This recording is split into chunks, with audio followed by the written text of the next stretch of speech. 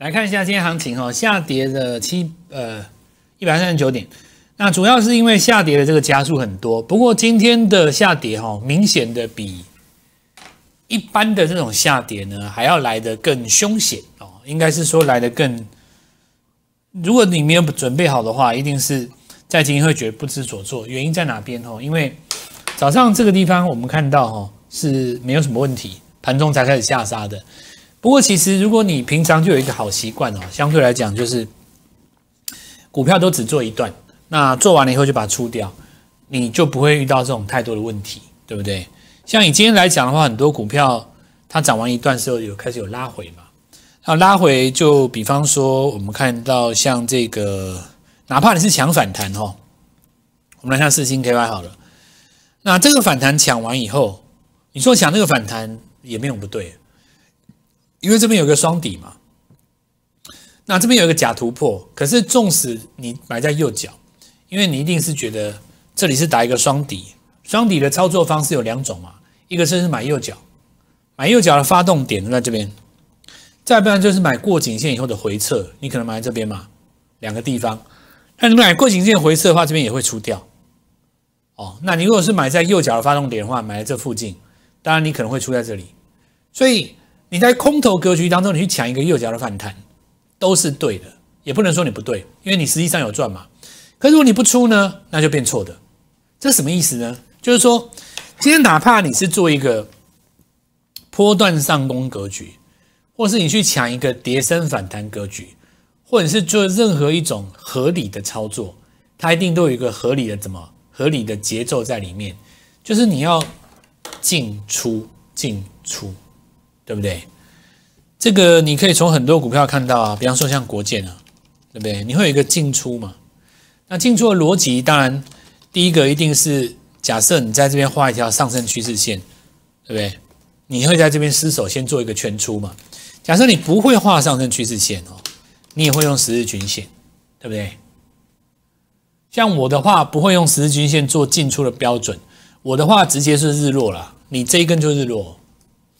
你这里如果不打当做日落哦，因为这里有一个缺口嘛，最迟这根也是日落，反应够快的这一天不创新高就准备该走了，然后就等下一个买点。那下一个买点周而复始，你把那个周线叫出来，它这一根日落嘛，对不对？那你就等到下一次日落日落日落，你要像这样子嘛，这里有没有日落日落日落这一根日出，就未来在这边拉回，这有一个地方买回来。所以这一次银建股哈，它给了大家一个高档拉回的机会。这个当然，下一次的买点预估会在一个月之内出现。我们也跟大家讲，这些都是市场上的机会。然后上一次拉回的买点就是红海，然后这里有一个日落，对不对？买在这个日出，那就没有问题。所以今天我们来看到像包括华硕，对不对？他们都是属于上个礼拜做出一个日出周级别。那你在日线上就没有什么问题，哪怕你今天是华硕，那一样哈，等到你日落了就获利卖出，对不对？就把获利卖出，就是要来跟大家讲一件事：，股票它其实是有一个合理的节奏的。我这个做完五天最好做的那一段以后，我就会先把它卖出。那因此的话哈，如果你平常就养成这样的习惯的话，今天在这里做压回，你就不怎么会去伤到。好，好那。解盘的话，我们就先来看一下。首先，指数哦，指数相对来讲还是比较强的，因为站在八十上面已经两天了。虽然现在今天收黑哈，可是你看今天收黑哦，事实上还在十均线上方。它这个明有明显的转弯呢，倒是 OTC 啊。好，我们先来看见顶啊，就是让大盘做上攻，一定有对的股票嘛。那上呃，我们昨天有跟大家讲见顶，这就是一个正常的突破。哦，正常的突破，所以今天我们看到再创一个新高。我昨天跟大家讲，那另外一个就是说，华晨，华晨的概念比较不一样。华晨我昨天花了比较久的时间去讲，我拿华晨这一根红棒哦，来对比这一根红棒，对不对？一样嘛哦，它就是一个高档压回以后，第一天转强，它要一个回撤。那你看这根红棒它做一个回撤，对不对？这根红棒呢，它也做了一个回撤。然后直到这个位置为止，开始出现红棒、红棒、红棒，才是真正的攻击嘛。所以这种现象会出现两到三次。那我觉得对重电来讲，吼，就第一个，吼，涨停的时候你隔天不要追，当天攻击的时候你可以做短差，但是呢，你要注意拉回的时候要开始站在买方了。它开始拉回了嘛，因为开始站在买方了。这个时候你就看哦，因为它的周级别有没有有机会在本周开始进行一个多头抵抗？那这个比上个礼拜高啊，就开始啊出现一个震荡区间啊，而且这这个礼拜量应该会比上礼拜大嘛。所以下档在这个地方已经慢慢有人守了。类似这个线型是上一次发生在谁身上？你知道？做头不成谁啊？三三二四双红嘛，做头不成呢，这个就做头不成了。你看这一这一根跟这一根跟那个华晨有没有点像？含义是一样的嘛？两档股票都在一千前面刹车嘛？两档都是最需要上千的股票嘛？对不对？因为你 AI 这一端现在重点，因为你看哦。像川湖这种股票，虽然说第一个你有季报，然后你的产业也是对的，逻辑大家也认同，但川湖能不能够带起这么大的一个气氛？很大的原因就是说川湖它涨自己的，顶多一个南郡，对不对？可是双红不一样嘞，双红后面小弟一堆啊，他后面小弟我可以找十二个出来，这个上去不得了，整个门派都要动了。因为有的股票就像那个华晨嘛。最重要的几只股票，就是大家就是立拱，哪怕你今天不是做双红，都希望双红冲在这边，撑在这边，对不对？你随时会有散热出来。不过这个还是要来跟大家讲，就是说你不是每次散热都做同一档。比方说上一次是集贸嘛，那这一次一定有新的散热，对不对？或者说上一次的饥渴，那这一次的话，很多人去抓这个成名店，就是每一次上攻的股票它不一样。所以还是回到我们节目讲的一个重心，就股票是要。做它最好做的那一段，每段做的股票不一样，没有关系。股票不见得一定要做到它什么底跟头啦。任何一次的过程当中，吼，我们最重要的是在你的资金，你的资金换成股票，再换成钱的过程当中，它变大了，一次又一次，它越来越大，它就是一个操作的重点。好，所以说华晨，我昨天有跟大家讲过嘛，看这个回撤是不是变成一个新的低，不用追了哦。但是你拉回就要找买点了哦。这一档股票哈，我带的朋友里面哈，我们会针对它什么时候去攻一千，做一个专门的攻略哦，做一个专门的攻略哦。我们最近有有几个跟我们一起操作的朋友嘛，其中有好几个很有实力的。那我们来看一下那个一次情绪的高峰，就是另一次新情绪的开始哦。上一次情绪高峰当然就是来到于银建短线有一个高峰嘛哦，那等到情绪平复了以后，我们再把银建买回来。另一个情绪的开始哈，昨天我跟大家讲，在非电资金当中，他也不愿意去做电子哦，就算做了电子，也不是现在嘛，因为 OTC 在跌嘛，所以我们昨天就来提前跟大家布局万海哦，今天涨停的就是它了，所以不可否认哦，我们就再讲一次了哦。其实仔细想想看哦。就是说，当今市场上啊，大部分的人都会有自己的一个，我想分析师也是一样，有一个风格或主见，对不对？那我的风格会比较明确，就是我都做主流股，对不对？那至于主流股的风向什么时候来，我觉得当一第一个人才有价值，它刚开始出现那个风向的时候，你就要把握到那个位置，等到你完全认同它的时候，全市场认同就是高点。好，那再来就是 OTC 哦，你可以看到很明显的哦，为什么最近在这边它的指数都一直没有办法越过前一天的高点？你看嘛哦，它一旦做拉回以后，它都没有办法做。你所谓的越过昨天的高点，像这一根算不算？有的人说这一天没有越过这一天的高点哦，那你越过前一天的也算了，你至少有比前天的某一天每某一个还要高嘛？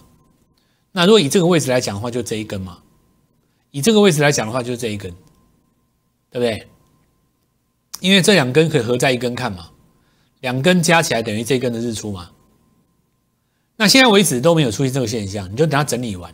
那 OTC 要怎么样来做一个演变？哈，那先来讲一下，说这个会变成一个大型的 ABC 呢？OTC 这里要变成一个大型的 ABC 哈，首先上一次大盘在这里出现低点的时候是台积电嘛？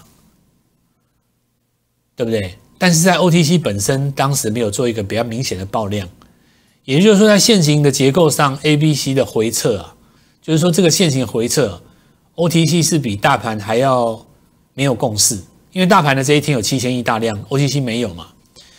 可是 OTC 它弹的比较高，那失守季线，如果季线是上扬的，是站在买方嘛？所以最有机会演变成的逻辑哦，应该就是一个大震荡三角，再往上做一个上攻。所以看一下这一次的时间点，这个反弹并没有让它 K 值回到八十的上方，这就是种下一个弱讯，有没有？它没有八十的上方吗？那期待它下一次上八十啊，这次没有。你既然没有的话，当然要交代一次拉回。所以我不把拉回当成是一个。空方的起点，但是我会告诉你哦，这一波涨的股票涨完了，拉回以后再上会换下一波股票，这个就是再一次验证了哦，验证就是在我们的格局里面，其实一档股票只要操作一段时间就好了，你有赚到那一段的钱，卖掉换下一档，长保安康，哦，长保安康，你想想看哈，以前市场上做过那种伟大的梦，最后结果都是怎么样？除了台积电到现在为止还在市场上做的那种，只要是伟大的梦，最后结果都是什么？你看过太多了啊！一千块的宏达电，一千二的国巨，对不对？一堆新药的生技股，那些都是有梦在上面的，七百八百，然后一千多股票一大堆啊，IC 设计很多啊，股票就是这样子的，有赚到换下一档嘛，轻松一点反而很容易，就是赚到钱。最近母亲节哦，就是你们觉得妈妈跟爸爸最大差别在哪里？爸爸有时候想的比较远哦，就是比方说一件事情，他可以想二十年后，那妈妈也会想那么远，但是妈妈要面对的是今天晚上就要面对的菜钱的问题，对不对？所以母系我们说哦，紫微斗数里面有一个东西叫太阴跟太阳，太阳是代表男生的那个思维。太阴是代表女性的思维嘛？就一般来讲，这两种财路哦，大家想象说，一个是照耀天下，照耀所有人；那太阴不是，太阴就是照耀你关心的人。然后呢，还有一个很重要的重点，它的那个财呀，它的那种钱钱财，它是一阵一阵绵延不绝的，细水长流型。做股票应该是要像这样的细水长流型，你要一直有钱赚，一直有钱赚，哪怕你这一次。只有赚三成也没有关系，三成就是一倍，对不对？我觉得可以好好的思考古人的智慧，对不对？太阴，月亮代表用母爱。那我们看一下这个华硕，因为我刚刚讲过了嘛，它其实你做完这一段再做下一段也好嘛。它昨天只有一个开低交代一下颈线，今天创新高。那这一次因为双 A 是这样的哦，NB 除了那个，简单来讲就是说。现在有很多东西都不能输给华为嘛，美系的很多东西都不能输给 Intel，他们很多不能输给华为，所以华为的 NB 它市占率在美国是下降的。那当然受惠的是我们双 A 了。长线原因在这边，不过长线原因不是最重要的，股价的反应才是最重要的。就像我跟你讲的这个逻辑，它不涨也是没有用的，对吧？结果呢，我还是看对了哦。再来，我们看一下那个双红哦，我刚刚讲过了，散热的这个部分哦，它已经整理到尾端了。所以说电子不强吗？我倒也不觉得哦。可是仔细看一下哦，大盘击杀的那一天，如果你双红砍在最低点，是不是就很很很，是不是就很辛苦？所以股票我说嘛，就是你 A、B、C 啊，那像这个的话是 C 波被没收了哦，那那也无所谓了。你拉回的过程当中是把握每一次下一次的买点哦。现在看起来的话。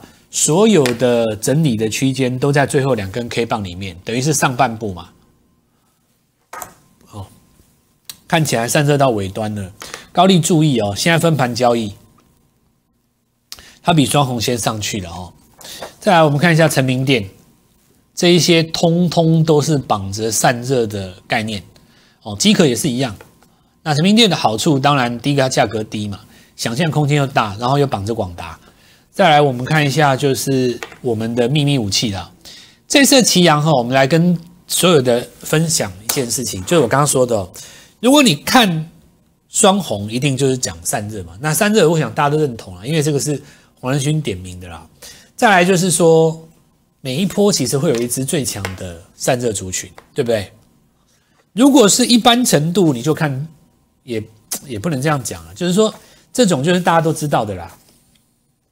哦，这种就是大家都知道的嘛，对吧？那也不用我说，我想你们老师解的大概也是这几档。你们老师讲散热是不是讲双红、旗红、成明电、高丽，对不对？没错嘛。那如果说你要赚到大钱哦，像我们就会吃到这种集贸，这边五根，这边五根，对不对？那这个就是所谓的转机型的股票。转机型的股票在五日冲里面所代表的重点，比方说尼格尔超重，或者是说这次集贸拉五根，对不对？紧接着我们就会帮你找新的机壳哦。那四五七的水很三的，我们看奇阳哈，他这一次讲到为什么这两根跳空缺口出来，他的那个二代艺人要在这次电脑展亮相嘛？所以大家看一下哈，消息出来的时候，当然这两根你买不到，很正常，没什么量嘛。你能够买到的点就在这里。当大盘在震荡，人家大跌我不跌，然后我又是新的散热，今天的结局只有一个，我涨停嘛。所以来再一次证明哦，再一次证明啊，我们这一次有先帮各位来做掌握的格局里面哈，这一次我们有一个母亲节的一加三的活动哦，一加三的活动，大家仔细想想看哦，这两天唯一能够买的散热族群，今天。领先来过高的不就是他吗？这次我们的那个母亲节一加三哦，因为我们很少有一些特别的活动嘛。今天当然有，因为母亲节是一个重要的日子，母亲节也是振华会踏入这个股市分析当中很重要的一个机缘。我母亲以前做股票也是很辛苦啊，那当然以前小时候不懂得妈妈的辛苦，对不对？可能妈妈只是想要呃多增加一点这个家庭的收入，不过。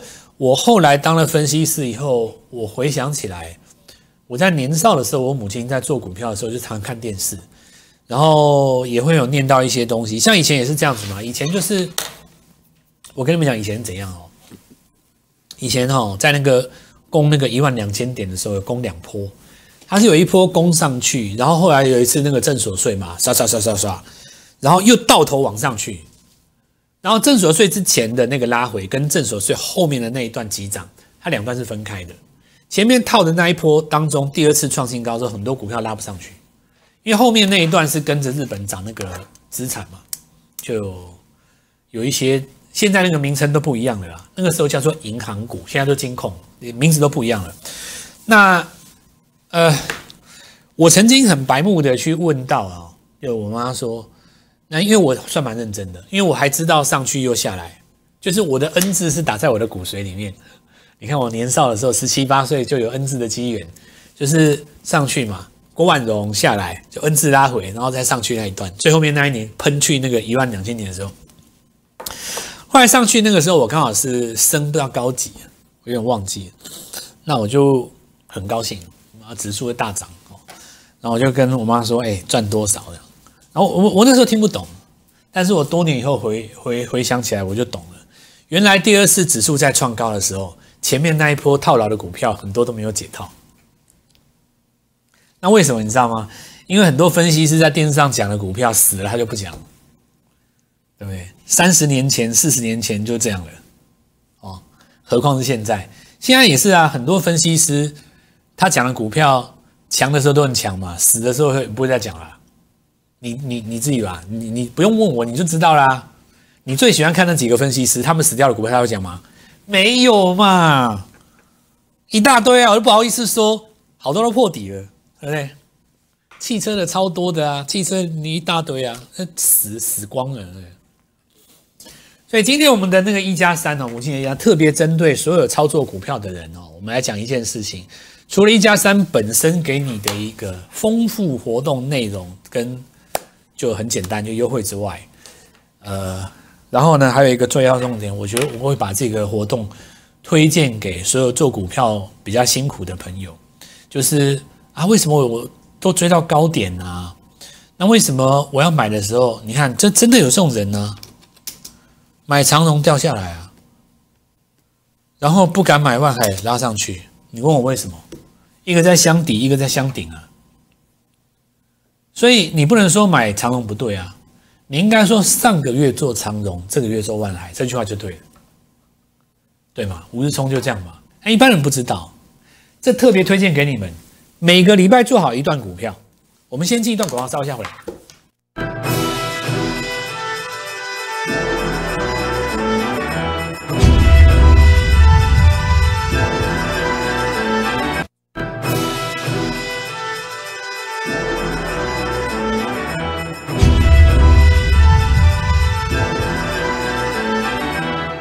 我们来看一下哈，这个是旺系来旺系。那你看，这是四月中旬，四月中旬哦。好，走这一段嘛，对不对？实际上，在我认为啦，其实大概就是做这五天。你也知道不创高嘛，出掉算了。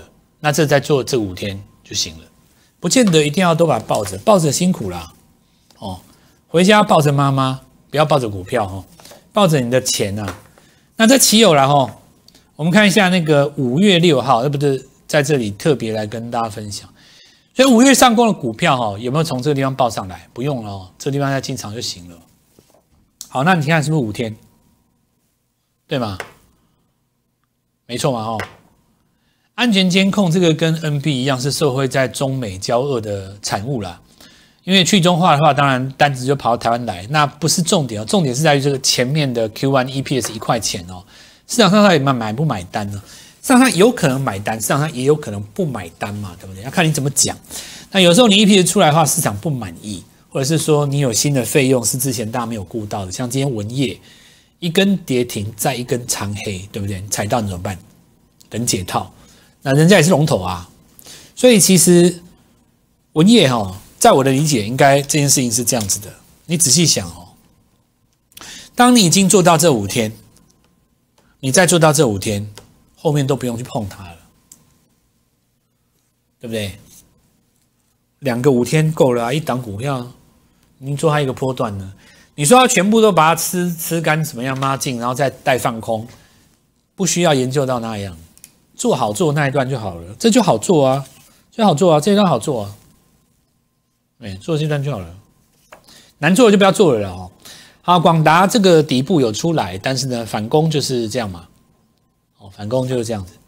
然后我们看一下尾影哦，尝试来组一个底，两根上影线，它底部是收高的哦。星星这个跟刚才讲的双 A 有点关系哦，因为毕竟就是说，它本来就在做 NB 的轴承嘛，那 NB 都在涨，你说你不涨，也也也市场上也觉得应该是说认同度也不高哦。你 N B 都在涨，你涨轴承正常嘛？像现在这个地方就没有在涨之前手机那几只，对不对？埃姆勒哈，这个是切入这个四五七三这拉回以后第一根转强哈，这很明确是第一根转强，为什么呢？因为它是第一次收在昨天高点的上面对吧？就日出嘛。好，来我们看下建春哦，这个工具机，那这些都是所谓的 Q one 营收季报带出来的股票，都是一些新的股票哈。然后我们看下三方今天有创一个新高，注意一下三晃也有啊。不过我们看到三晃三方是创这个波段的新高哦，更有共识一点哦。然后阳明哦，阳明就跟刚才的这个望海一样哦。域名呃今天还不错哦，它直接开的低点是在昨天长黑棒的上面，有看起来要量缩做化解换手的样子哦。好，雷虎我们昨天说过了，呃，政策股其实。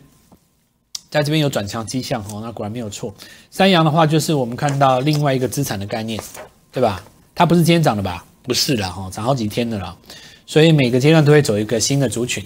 好，现在资资金进来哈，就看到电子是散热嘛，加上一些中美抗争下的产物，还有在呃在船产飞电这个部分哈，原先的主流在整理新的股票哈，是一些之前没有涨到的，更符合我们母亲节一加三的这个活动。那么母亲节前的最后一个交易日就明天了，周五带你进场，好好把握这个机会。